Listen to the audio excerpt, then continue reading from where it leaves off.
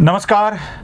गरुड advertisers आणि Shri Siddhakala financial O P D यांच्यासोबत आपण काही मुलाखती मागच्या अनेक दिवसापासून घेतो आहोत. या कोणत्या तसा प्रश्न आपल्याला पडला असेल या सिरीजला नाव मुद्दाम दिलं नाही ते यासाठी की आपण उगाच दुर्गा नवरात्रातल्या देवी असं काहीतरी सांगून ते आपण नाव करत असतो. पण या सगळ्यामध्ये मला एक गोष्ट प्रकर्षानं सांगायची आहे की सतत सतत झगडत असताना म्हणजे नुसतं जगत असताना नाही जगत असताना सुद्धा. अनेक स्त्रिया अशा असतात ज्या आपल्या कर्तृत्वाच्या जोरावर उभ्या राहतात. आपलं एक वेगळं विश्व निर्माण करतात. पडतात अडतात कधी कधी नुकसानीच जातात पण आपलं काम थांबवत नाहीत. आणि हे सतत चालत राहणं त्यांच्या आयुष्यात त्यांना यश देतं. अशाच काही यशस्वी महिलांच्या सोबत आपण बोलतोय. त्यात आज संगीता डांगेजी आपल्यासोबत आहेत ज्यांचं फ्रॉक हाऊस. आपल्या औरंगाबादकरांच्या आणि मराठवाड्यातल्या बहुतेकांच्या चांगल्या परिचयाचं आहे. एक ते पाच वर्षाच्या मुलीला फ्रॉक हवा असेल तर तो संगीताजींच्या फ्रॉक हाऊसमधूनच घेतो. ही इथली पद्धत झालेली आहे.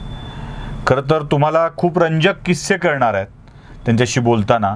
म्हणजे असं आहे की साधारणतः मराठी मुलगी जेव्हा काही चार दोन रुपये गुंतवते आणि ते बुडू नयेत यासाठी प्रयत्न करते. असे तीन हजार रुपये गुंतवलेले बुडू नयेत या हेतूनी.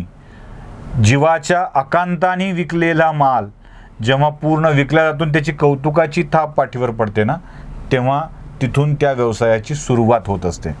त्याच सगळ्या गमतीशीर गोष्टी पण प्रेरणादायक आपण त्यांच्याकडून जाणून घेणार आहोत. नमस्कार.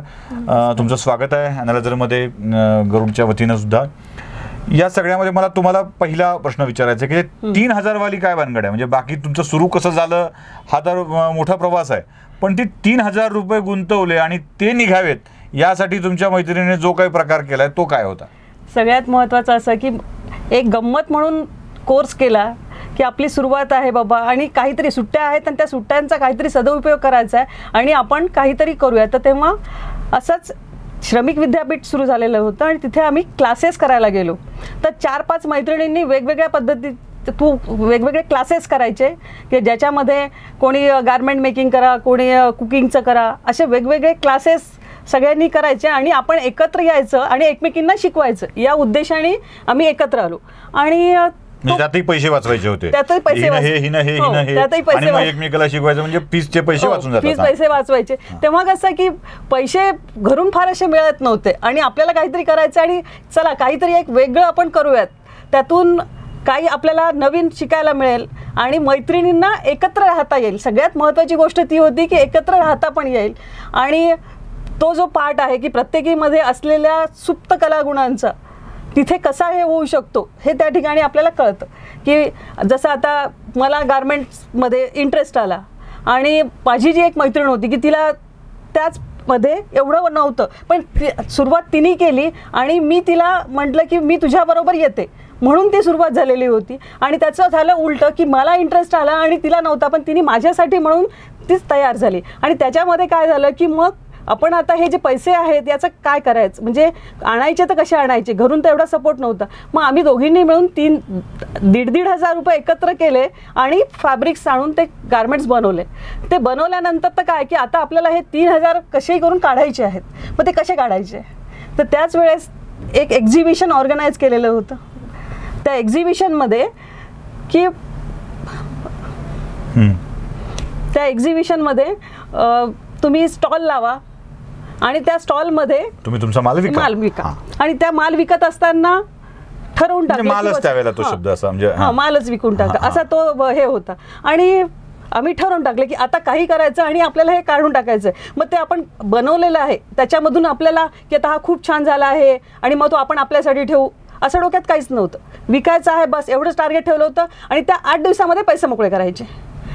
आणि आम्ही ते केलं. पण ते करत असताना खूप मजा येत होती. काही लोकांना वाटायचं की अरे या एवढीशा मुली आहेत ह्या काय करतील? कारण जस्ट आम्ही बीकॉम म्हणजे त्यावेळेला वय काय होतं? एकवीस वर्ष होतं हे. हे महत्वाचं आहे की.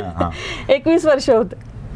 आणि हो. आता या सगळ्यामध्ये म्हणजे बहुतेक मी थांबवतो यासाठी की यांनी तीन हजार रुपये काढायचे म्हणून ते फ्रॉक बनवलेले कसेही करून विकून टाकले जी काही धडपड तिने सांगताना त्याचं मध्ये मध्ये पॉज घेत होते त्या. म्हणजे तो तो त्यांचा तेव्हाचा वेग आणि आताचा वेग सारखाच आहे. म्हणून ते घडत होतं. बहुतेक स्त्रियांच्या बाबतीत अजून एक गोष्ट अशी नेहमी घडते की जेव्हा एखादा उद्योग सुरू होतो काम सुरू होतं तेव्हा माझ्या वडिलांनी मला खूप मोठा सह सहकार्य. केलं हे केलं ते केलं. या पहिल्या आहेत ज्या स्पष्टपणे सांगतायत की वडिला बिल्लांनी फार काही सहकार्य केलं नाही उलट नाही. करू नको म्हटलं. पण नवरा मात्र कामाला आला हे प्रामाणिकपणे सांगणाऱ्या काही स्त्रिया फार विरळ्या असतात. ते काय आहे की वडिलांनी नको म्हणून सांगितलं आणि पतीने मात्र तुमच्यातलं स्किल स्वतःच्या व्यवसायासाठी म्हणून छान ओळखलं हो, होतं. ते- कसा कसा आहे? तो काय? त्याच्यामध्ये असं झालं की माझ्यामध्ये असलेलं स्किल की बाबा तू हे सगळं करते पण याला चांगलं स्वरूप आपण कसं देऊ शकतो? आणि तेव्हा कसं होतं की फक्त शिवण क्लासेस चालतात. श्रमिकमध्ये पण काय शिवण क्लासेस blouse, पंजाबी ड्रेस छोट्या बाळांचे. कपडे. म्हणजे त्याचं जे नाव होतं ते फार असं एक ट्रॅडिशनलमध्ये किंवा लोकांना त्या गोष्टी हा चला कुठे जाते शिवण क्लासला मुलगी जाते तर तो जो पार्ट आहे तो थोडासा वेगळ्या प्र- प्रकारे आपण कसा म्हणजे नाव्याच्या दुकानाला हेअर ड्रेसरचं नाव. द्यायचं होतं असा असंही. म्हणता येईल. कारण इथे अजून तशा पद्धतीची काही सुरुवात झालेली नव्हती. आणि मिस्टरांनी कॉम्प्युटरचे इन्स्टिट्यूट ज्याला आपण म्हणूयात की ते आधी रन करत होते. तर त्यांना ते एक थोडासा त्यांनी त्या सिलेबसला त्या पद्धतीमध्ये म्हणजे आपण जे शिकवतो म्हणजे जे क्लासेसमध्ये चालायचं तेच आम्ही करत होतो. पण त्याला एक वेगळ्या सु- याच्यामध्ये टाकून की बाबा हे एक आपण क्लास घेत असताना शिकवत असताना की प्रत्येक पार्ट्स हे वेगवेगळ्या याच्यामध्ये जर डिवाईड केले तर ते कशा पद्धतीने जाऊ शकतील? आणि मग तो सिलेबस हे घेऊन मी महाराष्ट्र उद्योजकता विकास केंद्र. एम सी डी बरोबर मी काम केलं. जिथे तुमचं ट्रेनिंग इन्स्टिट्यूट सुरू झालं मग. तिथून पुढे तुमच्या त्या ट्रेनिंग इन्स्टिट्यूटची खरी कल्पना खरी कल्पना तिथून आता ट्रेनिंगमध्ये एक गोष्ट मात्र नक्की आहे म्हणजे आपण मुलाखत का घेतो हे तुमच्या लक्षात येईल टप्प्याटप्प्याने तुम्हाला कळेल. ट्रेनिंग इन्स्टिट्यूटमध्ये तयार झालेल्या कपड्यांना कपड्यापेक्षा सुद्धा तयार झालेल्या टेलर्सना म्हणजे अगदी शिवण जमणाऱ्या मंडळींना काम कुठे होतं? बरोबर म्हणजे औरंगाबादमध्ये एकही गार्मेंट इंडस्ट्री त्यावेळेला पण नव्हती. आणि आता पण फारसं काही. आता पण गार्मेंट इंडस्ट्री म्हणजे ड्रेस कन्वे शिवणारीच. हा म्हणजे ती पण कसं की युनिफॉर्म. आता ही. क्लासेस चाल आता ही इंडस्ट्री आहे. औरंगाबादला इंडस्ट्री नाही असं. म्हणता येणार नाही. कारण खूप सारे लोक ह्या व्यवसायामध्ये आहेत. आहेत. पण ते कशा स्वरूपामध्ये आहे? की बाबा कंपनीचे युनिफॉर्म्स हा युनिफॉर्म्स करणे हे बस या- हेच. याच्यातच. पण माझं जे होतं त्याच्यामध्ये मला असं होतं की जे आपलं आर्टिस्टिक माइंड की ज्याच्यामध्ये आपण आपली कला की आपण जे कपडे शिवतो आपण जसं म्हणजे काम मिळावं म्हणून तुम्ही अं, स्वतःचं एक सुरू केलं स्वतःचं. स्वतःचं सुरू केलं. आता किती लोक काम करतायत? आता माझ्याकडे पंचवीस लोक काम करत आहेत तर त्या पण महिलाच आहेत. अच्छा. हे तुम्हाला मी अजून एक गंमत त्यांना विचारायला लावणार आहे. म्हणजे आता तुम्हाला मी वर्क फ्रॉम होमची जी कन्सेप्ट आहे ना लॉकडाऊनच्या आधी सुरू झालेली आहे. ती त्यांनी राबवली आहे. आणि सगळ्यात मोठी गोष्ट म्हणजे त्यांच्या कारागीर कोण आहेत हे तुम्हाला कळलं तर अजून आश्चर्य वाटेल. कसा आहे तो किस्सा? कारागिरांचा तुमच्या पंचवीस महिला कशा जमा झाल्या? आधी तर इन्स्टिट्यूट होती. इन्स्टिट्यूटमध्ये काय असायचं की स्टुडंट येणार वर्षभर शिकणार आणि ते चालले जाणार. कारण त्यांना अशाच पद्धतीचं सांगितलेलं होतं की आम्ही तुम्हाला व्यावसायिक शिक्षण देतो आहे तुम्ही तुमच्या पायावरती नंतर उभे राहणार आहात. तुम्ही स्वतःचं युनिट सुरू करणार आहात. तर ते लोक नंतर मला कामात येणारे नव्हते. दरवर्षी नवीन स्टुडंट येणार ते पूर्ण ट्रेनिंग घेणार आणि निघून जाणार. तर मग आपल्याला हा व्यवसायामध्ये एक शिक्षण एज्युकेशनल ॲक्टिव्हिटी एका लिमिटपर्यंत ठीक आहे पण नंतर असं वाटायला लागलं की नाही आपण जर आता याला थोडं वेगळं स्वरूप दिलं तर काय होईल? तर मग त्या याच्याने मी काय केलं की आपण एक शॉप घेऊयात आणि तिथे आपण बनलेले गारमेंट्स म्हणजे सगळ्यात महत्त्वाची गोष्ट कशी घडली की कोर्सेस चालू होते. दरवर्षी मुली यायच्या शिक्षण घ्यायच्या निघून जायच्या. कारण त्यांनाही पुढे काहीच नव्हतं. की बाबा त्या का ते कसं करणार? एखादं बुटीक टाकणार? नाहीतर मुलींचं लग्न झालं त्या निघून गेल्या. म्हणजे असं त्याला फार काही हे नव्हतं. तर मग मी हा विचार केला की नाही आपण जर ह्या ठिकाणी जर एखादं शॉप सुरू केलं आपण त्यातून काही अर्थार्जन जे काय येईल की बाबा ज्या मुली आहेत की त्यांना चार पैसे कसे सुटतात?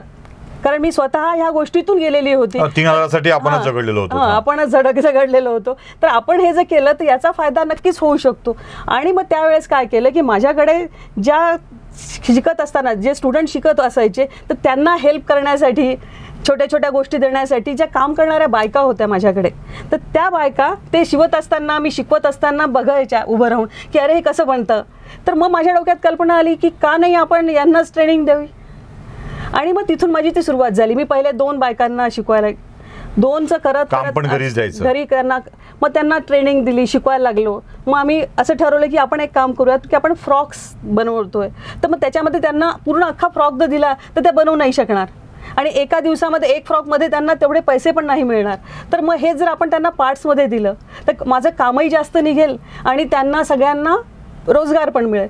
तर मग त्या हिशोबाने मी त्यांना प्रत्येकाला वेगवेगळे पाठ शिकवले. आणि त्याच्यातून त्यांना आज घरी बसल्या एक बाई साधारणतः आठ ते दहा हजार रुपये महिना ही घरं चालवून घरातल्या मुलांचा सगळं करून ती बाई कमवू शकते. यात आणखी एक मुद्दा खूप महत्त्वाचा आहे जो जाणून घेतला पाहिजे. लॉकडाऊनच्या आधी त्यांनी काही कन्सेप्ट मनात होत्या. आणि त्या लॉकडाऊन झाल्यावर सुद्धा मूर्त पद्धतीनं उतरलेल्या आहेत. म्हणजे बीई झालेला मुलगा आता या याच धंद्यामध्ये उतरलेलं आहे. म्हणजे ह्या धंद्यात शब्द यासाठी मी वापरतोय की बहुतेकांना इंजिनिअरिंग वगैरे झाल्यावर आता आपलं आपलं काहीतरी वेगळं आयुष्य सुरू करायचं असतं. पण मुलानं आईच्या या कामात वडिलांचा कित्ता गिरवत सहकार्य करायचं ठरवलेलं आहे. पण आता एक ब्रँड इस्टॅब्लिश होतोय आणि तो ब्रँड काय आहे? तो कसा होतोय? आणि तुम्ही त्यात काय केलेलं आहे? आधी तर फ्रॉक हाऊस होतं.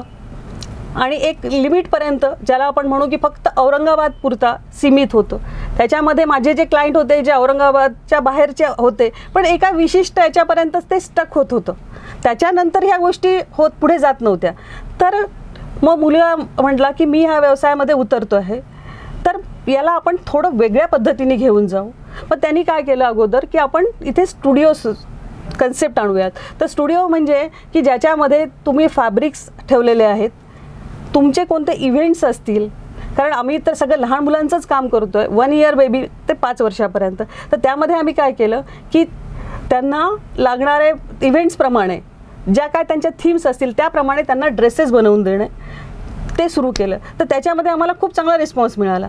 पण मग मुलाचं मन काही इथे रमत नव्हतं. तो म्हणे की एवढ्या याच्यामध्ये तर काही होणार नाही कारण इथे फार काही ग्रोथ होत नाही आहे तर आपण पुण्याला हे सुरू करूयात. आणि मग त्यांनी डोक्यामध्ये आणलं की आपण हे पाच ठिकाणी आउटलेट सुरू केले तर. तर मॉलमध्ये आपल्याला सुरू करता येईल कारण मॉलमध्ये तुम्हाला क्लायंट जे आहेत कारण कस्टमर मिळणं. गरजेचा होता. कारण आम्ही जे बनवतो जे आपलं प्रॉडक्ट आहे त्या प्रॉडक्टला हा क्लायंट मिळणं शक्य नाही. रस्त्या म्हणजे आपण ज्याला म्हणू की शॉप्समध्ये ते होऊ शकणार नाही. तर आपण जर मॉलमध्ये उतरलो तर ते चांगल्या प्रकारे रन होऊ शकेल. आणि सव्वीस जानेवारीला सुरुवात झाली. आणि लॉकडाऊन आणि जानेवारी फेब्रुवारी आणि मार्चमध्ये लॉकडाऊन लागलं. लॉकडाऊन लागल्यानंतर पूर्ण जो आहे तो बिझनेस तिथे सहा ते आठ महिने मॉललाच लॉक लागले. आणि त्यात केलेली इन्व्हेस्टमेंट गुंतवणूक ही पूर्ण स्टक होऊन गेली. आणि मग खूप टेन्शन आलेलं होतं की आता कसं आपण करणार आहोत? एक तर हालचाल करता येत नव्हती इन्व्हेस्टमेंट केलेली होती गार्मेंट्स बनलेले होते. पण मुलांनी हा विचार केला की नाही आता याला आपण थांबून पण नाही चालणार आहे इतकं गुंतवणूक आपण केलेली आहे. तर तो लॉकडाऊनमध्ये तो ब्रँड कोणता आहे? मिमोरा मेमोरा हा.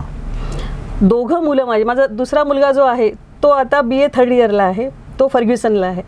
तर ते दोघं जण पुण्यात राहिले आणि त्यांनी ऑनलाईनवरती ऑनलाईनवरून ऑर्डर्स घ्यायला सुरुवात केली. पण तेव्हा पूर्ण आपलं हे जे आहे ज्याला काय म्हणूयात ट्रान्सपोर्ट सुविधा सगळ्या बंद होत्या कुरिअर. सुविधा सगळ्या बंद होत्या. तर त्यावेळेस त्यांनी स्वतः जाऊन डिलेवरीज दिल्या की नाही हे करायचं आहे आणि होईलच. आणि विदिन सिक्स मंथ मागच्या दिवाळीमध्ये त्यांनी साधारणतः पंचवीस लाखाचा टर्नओव्हर केला. आणि पूर्ण तो जो त्याचा पैसा अडकलेला होता तो पूर्णतः त्यांनी बाहेर काढला. आणि आता हे जे आहे आमचं मिमोरा ब्रँड जो अतिशय चांगल्या पद्धतीने आम्हाला रिस्पॉन्स सगळ्यात महत्त्वाचं आपण म्हणतो की कोविडमध्ये आलेल्या लोकांना रोजगार मिळत नाही म्हणजे सगळे हे झालेले आहेत. हां आणि कसं होणार आहे काहीच होत नाही आहे पण त्या पिरियडमध्ये सुद्धा माझ्या महिला ह्या त्यांना मी अशाच पद्धतीचं घरी काम देत असल्यामुळे त्यांना एकही दिवस त्या रिकाम्या राहिल्या नाहीत. आणि त्या त्यांना घरामध्ये बसून त्यांनी कामं करून दिले. या सगळ्या प्रकारामध्ये आपल्याला एक गोष्ट लक्षात येते की इच्छा असला की मार्ग सापडतो. आणि तो मार्ग यशाकडे नेतच असतो. म्हणजे असं नाही होत की यश मिळालं नाही. यश मिळतंच. फक्त करण्याची आवश्यकता आहे. या अशा अनेक प्रेरणादायक कहाण्या आहेत. आणि ही कहाणी आपल्याला अशीच प्रेरणा देते की काम करत राहिलं पाहिजे.